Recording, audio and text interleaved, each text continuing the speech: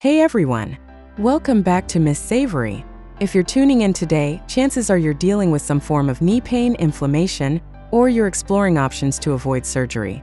You're not alone in this, and today's topic is especially for you. We're going to talk about a powerhouse vitamin that has been making waves in the world of knee health, vitamin D, the sunshine vitamin. So make sure to stick around as we dive into how this essential nutrient can be your knee's new best friend. Now let's get straight to it. Vitamin D, often nicknamed the sunshine vitamin, is crucial not just for bone health but also for maintaining the function of your knees. But why is it so vital, especially for those suffering from knee problems? Well, vitamin D plays a significant role in reducing inflammation in our bodies and supports the overall health of our joints and bones. This can be particularly beneficial if you are battling chronic knee pain or conditions like arthritis. Many studies have shown that people with chronic knee pain often have significantly lower levels of vitamin D. This deficiency can contribute to the pain and the progressive damage that might be happening in your joints. By ensuring that your body gets an adequate amount of vitamin D, you could potentially manage your symptoms more effectively and even prevent further damage to your knees. Now, you might be wondering how much vitamin D do we actually need? Well, the amount can vary based on factors like age, geographic location, skin color, and current health status.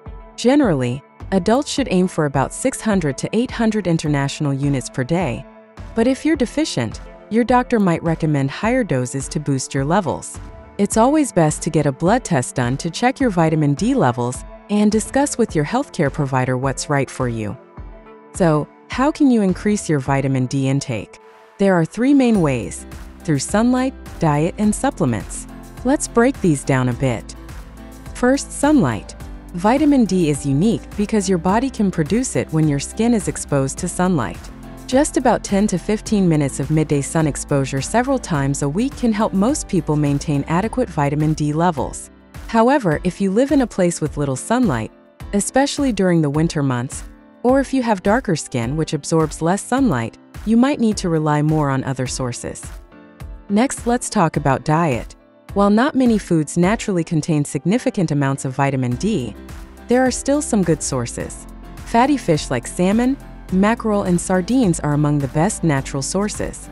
Other options include fortified foods such as milk, orange juice, and cereals, which can help boost your intake.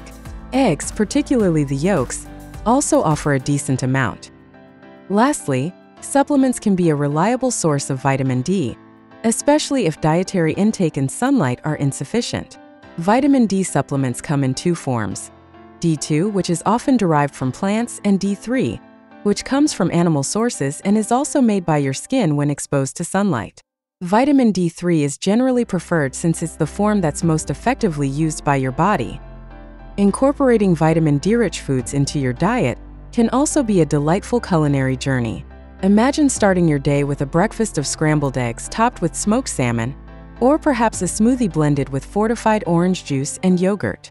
For lunch or dinner, a beautifully grilled piece of mackerel could not only satisfy your taste buds, but also contribute to your knee health. Besides eating right and taking supplements, simply getting out for some daily sunlight can significantly boost your vitamin D levels, essential for your knee health. Whether it's a morning walk or just taking a few minutes to bask in the sun during your lunch break, each moment counts.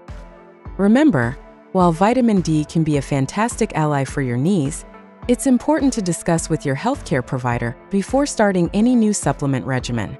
This is especially crucial if you have existing health conditions or are taking medications that vitamin D might interact with. We've covered a lot about how vitamin D can be beneficial for those suffering from knee problems, from its role in bone and joint health to how you can ensure you're getting enough. I hope this information helps you as you work towards healthier knees and a more comfortable daily life. If you found this video helpful, don't forget to like, subscribe, and hit the bell icon so you won't miss out on any of our future health tips and updates. Also, drop a comment below if you have any questions, or if there's a particular topic you'd like us to cover in upcoming videos. Your feedback is invaluable as we continue to create content that helps you live a healthier, happier life.